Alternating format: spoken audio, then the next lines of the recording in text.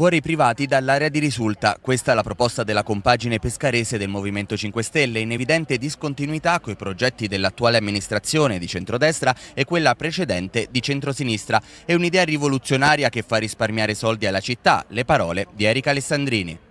Noi vogliamo essere rivoluzionari perché possiamo riqualificare il centro della città semplicemente spendendo i soldi pubblici che abbiamo a disposizione.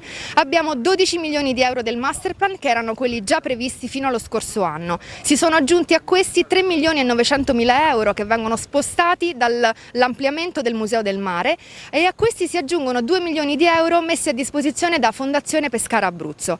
Questi 17 milioni e 900 mila euro sono utili a cambiare cambiare il volto del centro città perché sono soldi pubblici con i quali si può realizzare tutto il parco centrale, si possono realizzare e rinnovare le due stazioni degli autobus, si può creare il Silos Sud da 900 posti e si può bonificare per 3 milioni tutta l'area di risulta. Ebbene, quindi si può fare un progetto di riqualificazione estromettendo completamente il privato, eliminando le privatizzazioni che si prevedono per i prossimi vent'anni, cambiando il volto della città e dando finalmente un senso e una riqualificazione riqualificazione un, al nostro cuore pulsante cittadino che aspetta da troppo tempo di essere riqualificato.